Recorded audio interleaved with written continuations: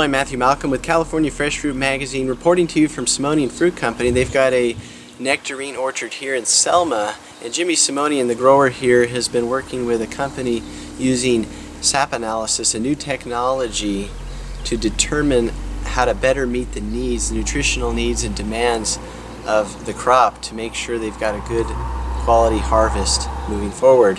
And here's David Miller to explain the process. In 2014, um, the plant sap analysis was introduced um, to United States. It's, it's a technology that had been validated a couple years before that in the Netherlands.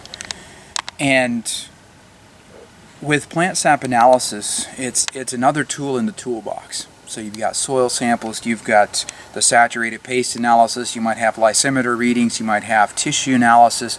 You have all those different analysis um, that help you to make wise decisions.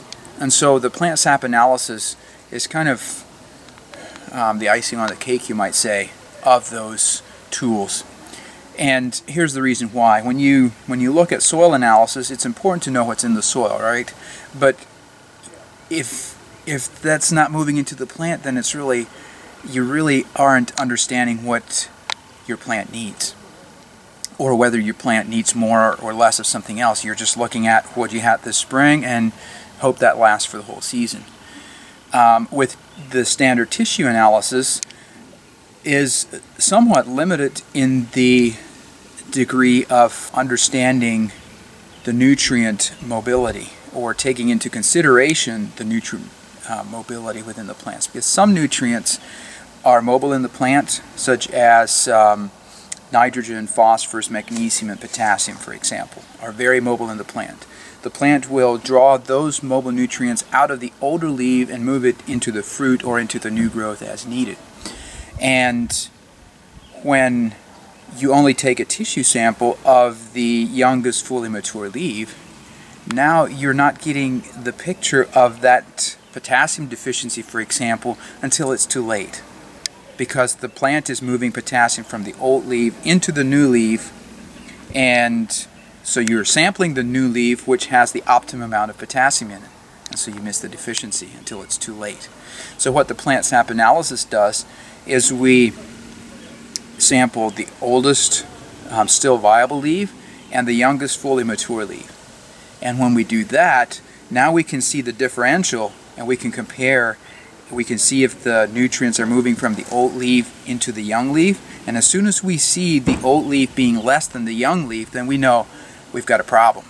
And that's two to three weeks ahead of when a tissue sample would show it up, uh, show up, or when you might even see a deficiency with your, you know, with your eyes.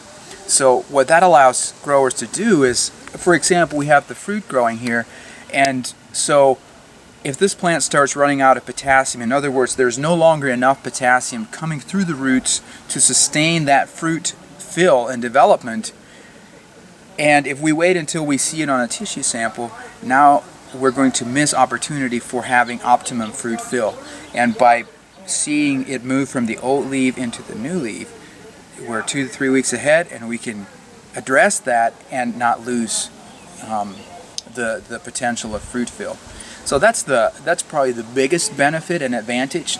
And then there's also the advantage of looking at the sap instead of the of the whole tissue because of the minerals that make up the structural parts of the plant. Calcium, for example.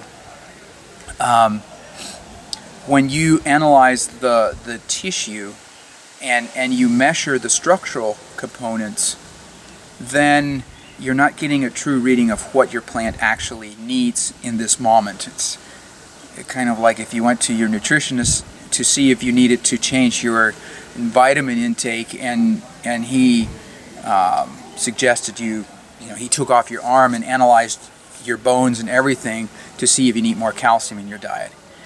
Obviously, it would it would come back saying you've got plenty of calcium, don't need more calcium in your diet, when actually you need more calcium and, and the calcium showing up is just from your bone. So it's a false reading when you when you're looking at it from that perspective. So those are two key advantages. And then of course we look at at a lot of micronutrients that many people aren't looking at with the plant sap analysis. such as molybdenum and uh, or silica, um, and then all the micronutrients. There's 21 different data points we look at. So it's pretty exciting with what we can do in, in helping farmers manage their nutrients better. We've been able to help farmers reduce inputs early on, and by doing that, it saved them money because they didn't apply it when they usually would have because the plants didn't need it. But then later in the season, they might be applying something that they never applied, or the thing they usually applied early, they might be applying that later when the plant actually. So it helps them manage that and really improves profit, profitability with it. Thank you, David. Learn more about incorporating new technology in the orchard by reading California Fresh Fruit Magazine. I'm Matthew Malcolm, CaliforniaAgNet.com.